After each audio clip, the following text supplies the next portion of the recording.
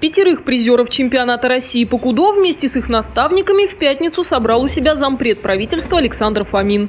Напомним, на недавнем первенстве в Москве ивановские кудоисты громко заявили о себе, собрав целый урожай золотых и серебряных медалей. У нас очень хорошие спортсмены, гимнасты, каратисты. И вот э, то, что сделали спортсмены, занимающиеся кудо, наверное, удивили всю Россию, потому что таких достижений бывает редко, чтобы во всех категориях занять первые, там, вторые места. Заявив о себе на всероссийском уровне, ивановские спортсмены, кроме кубков и медалей, завоевали почетное право принимать у себя следующий чемпионат ЦФО. В связи с тем, что ребята у нас достигли таких хороших успехов, мы добились того, что в следующем году, в 2014, у нас будет проходить отбор на чемпионат России в марте месяце, да, первенство ЦФО Ивановской области.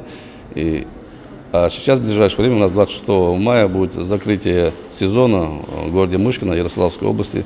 Зампред правительства поздравил ребят с заслуженной победой и вручил благодарственные письма и подарки. Спортсмены, в свою очередь, пообещали оправдать надежды и остаться гордостью региона.